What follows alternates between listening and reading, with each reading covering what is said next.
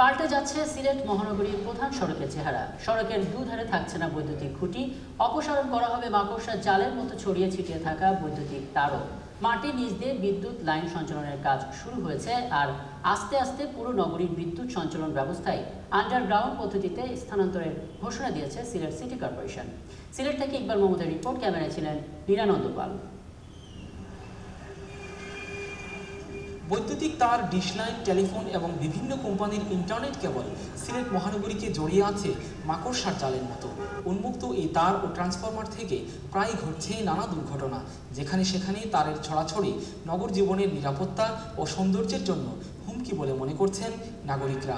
ইলেকট্রিকের কেবল থেকে শুরু করে টেলিফোন কেবলগুলো সবগুলো আসলে পরিকল্পিত না থাকাই এটা হচ্ছে। শর্ট সার্কিট হয়ে আমাদের রিক্সার উপরেও পড়ে যায় বাচ্চাদের উপরেও পড়ে কোনো নিরাপত্তা নাই তো এগুলো এগুলোর মধ্যে। সব আগুন টাগুন লেগে যায়। তারের এই জঞ্জাল থেকে নগরীকে মুক্ত করতে মাটির নিচ দিয়ে বিদ্যুৎ সঞ্চালন লাইন প্রবাহিত করার প্রকল্প হাতে নেওয়া হয়েছে।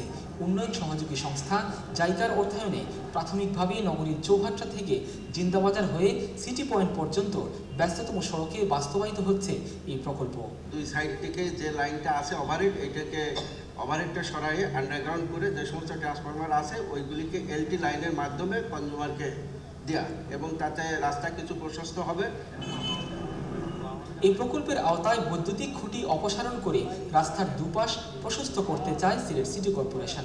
আর এতে যানজট সমস্যাও কমে যাবে অনেকাংশে। এখান থেকে যদি উভয় সাইডের বিদ্যুতের খুঁটি সম্প্রসারণ করে আমরা যদি আন্ডারগ্রাউন্ড করে নিতে পারি, তাহলে উভয় সাইডে প্রায় চোদ্দ ফিট পনেরো ফিটের মতো জায়গা বেরিয়ে আসবে।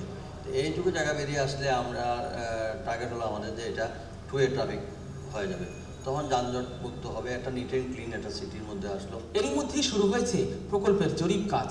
যন্ত্রপাতি আমদানির পর আগামী বছরের ফেব্রুয়ারি মাসে মূল কাজ বাস্তবায়িত হলে নতুন চেহারা পাবে সিলেট মহানগরী। এমনটি আশা করছেন সিটি মেয়র। আপনারা বলছেন ওইটা এলসি করতে গেলেও মাল আনান সহ প্রায় দুই তিন মাস সময় লাগবে। এর মধ্যে আমাদের আদার সাইডগুলোর কাজগুলো আমরা করে নিচ্ছি। আজকে থেকে সার্ভে শুরু হয়েছে পয়েন্ট আউট ঠিক হবে। বিদ্যুৎ সঞ্চালন লাইনের পর অন্যান্য সেবাধর্মী প্রতিষ্ঠানগুলোকেও আন্ডারগ্রাউন্ড কেবল সিস্টেম অনুসরণ করতে চাপ দেওয়া হবে বলে জানিয়েছে নগর কর্তৃপক্ষ। ইকবাল মাহমুদ, একাত্তর, সিলেট।